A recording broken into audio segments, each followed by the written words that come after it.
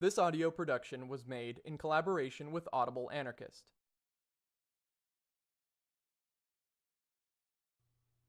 Fighting for Ourselves Anarcho Syndicalism and the Class Struggle by Solidarity Federation. Introduction Against the offensive of capital and politicians of all hues, all the revolutionary workers of the world must build a real international association of workers, in which each member will know that the emancipation of the working class will only be possible when the workers themselves, in their capacities as producers, manage to prepare themselves in their economic organizations to take possession of the land and the factories, and enable themselves to administer them jointly in such a way that they will be able to continue production and social life. Statutes of the International Workers Association.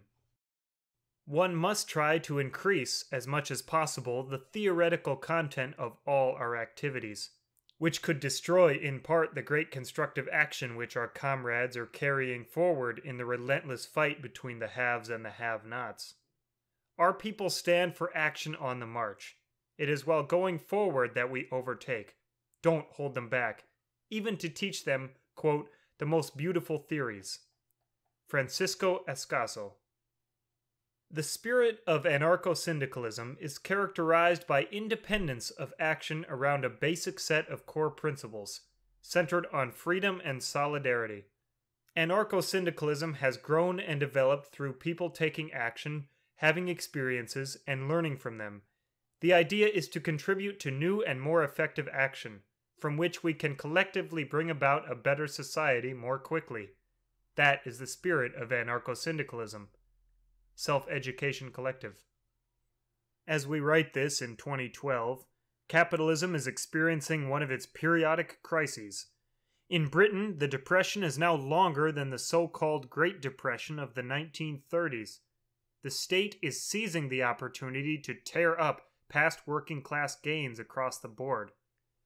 From healthcare provision and reproductive rights, to unemployment, disability welfare, and access to higher education, from job security to wages.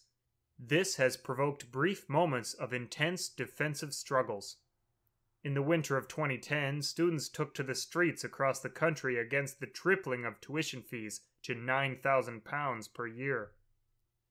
The movement erupted in November with the trashing of the ruling Conservative Party HQ in Millbank, as thousands broke away from the official National Union of Students March.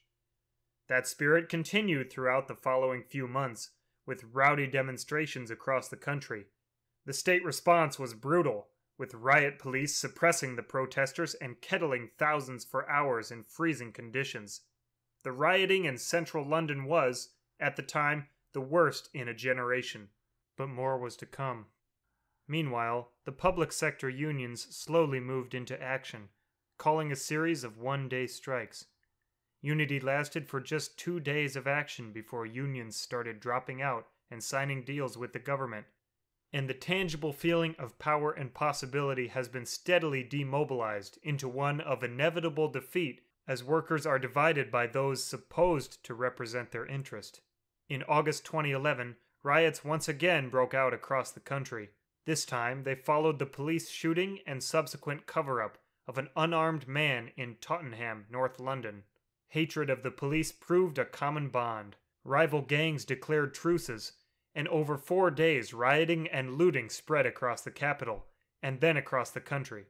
Rioters voiced anger at police brutality and harassment, political corruption, and the rich, only for the government, media, and much of the left to dismiss them as apolitical.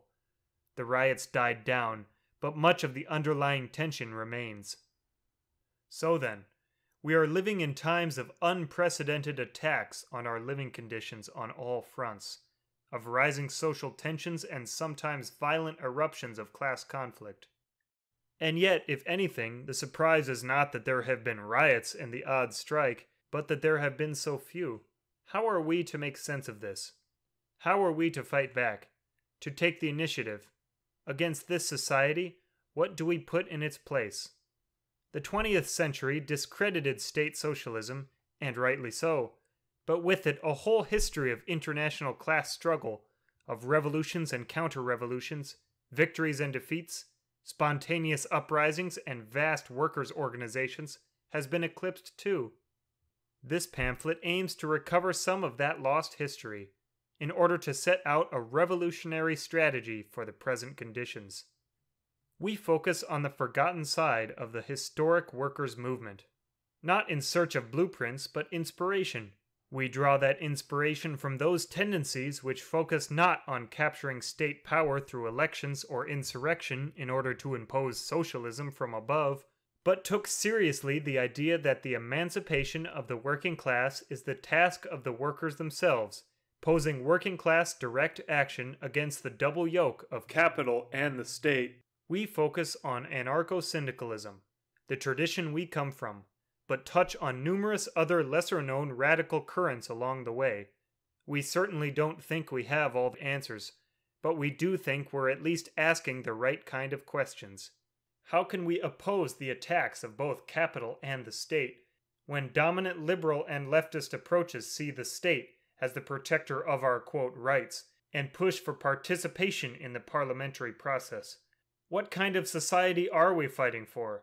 If not one ruled by the impersonal forces of capital and the violence and hierarchy of the state. We see revolutionary theory as an aid to organizing worker struggle, and not, as is so often the case, as a means of dominating and controlling it, or of producing dense and enigmatic tomes to establish one's credentials as a quote, thinker. As capitalism is dynamic, so must be the methods we use as workers to fight it. It is only through our collective immersion in day to day struggles that we can adapt and change tactics to meet changing conditions. And as our tactics change and develop, so must our ideas. Doing and thinking are but moments of the same process of organization. It is through our involvement in our daily struggles that, as an anarcho syndicalist union initiative, we are able to ensure that revolutionary theory keeps pace with practical realities and remains relevant to the workers' movement and to our everyday lives.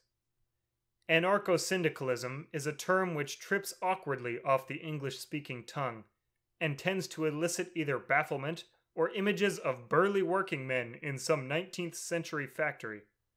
In French, the term syndicat, in Spanish, sindicato, in Italian, sindacato, simply means union, an association of workers without any further connotations, which can be modified by adjectives, such as anarcho, much as we use adjectives to modify the word union in English trade union, craft union, industrial union, and so on.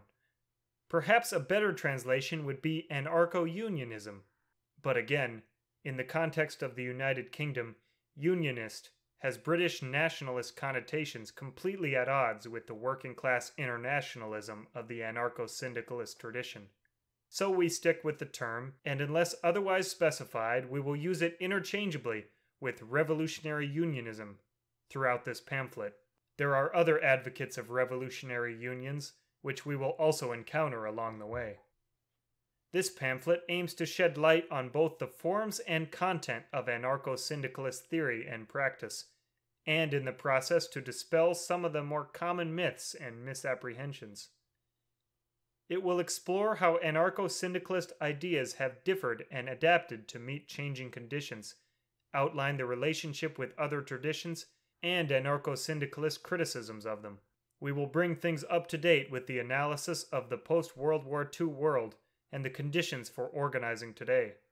We will set out our view as an organization of what a new revolutionary unionism would look like, and outline practical steps and strategies to make it a reality.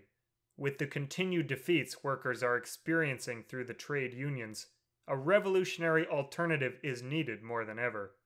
Indeed, we should not be asking the question, how can a union be anti capitalist and anti state? But rather, how can any union that is not so advance our class interests, when those interests are inimical to those of capital and state?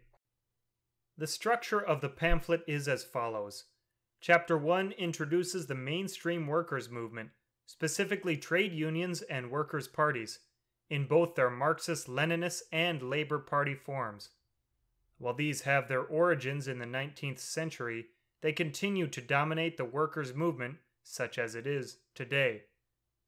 Therefore, the analysis is not purely historical, but continues up to the present day. Chapter 2 then explores the radical currents in the 20th century workers' movement, long forgotten to most, but still a point of reference for many discontented with the limits of the mainstream.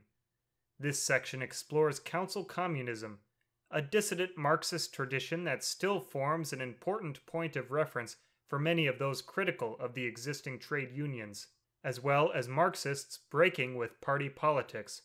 It also looks at both anarchist and syndicalist traditions, providing the context for Chapter 3.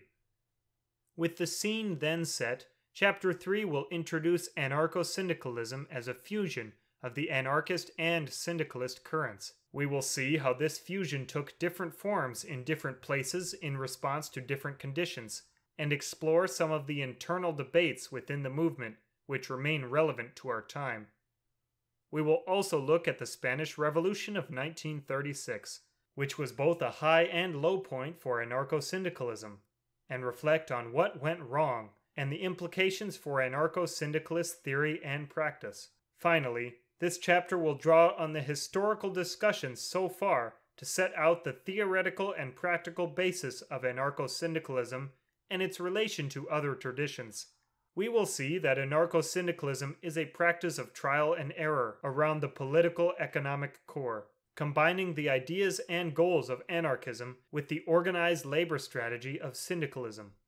Given that the anarcho syndicalist movement was all but wiped out by the combination of fascism, repression, and total war from 1939 onwards, Chapter 4 will explore the changes in post World War II capitalism and assess their implications for anarcho syndicalist organizing. Specifically, we will look at the post war social democratic settlement, which sought to counter the threat of revolution and marginalize radical currents by integrating the working class, via the trade unions, into capitalist society through a series of reforms.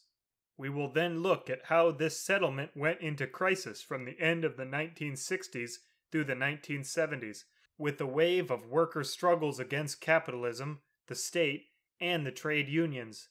But we will see how these struggles were ultimately defeated and gave way to the neoliberal counter revolution from the late 1970s, which has dominated global capitalism ever since. Finally, Chapter 5 will draw on the analysis of contemporary conditions to assess the relevance of anarcho syndicalism today. We will look at how to move from small political propaganda groups towards functioning revolutionary unions, explore the role of the Revolutionary Union, and its means of organizing class conflicts within the wider working class.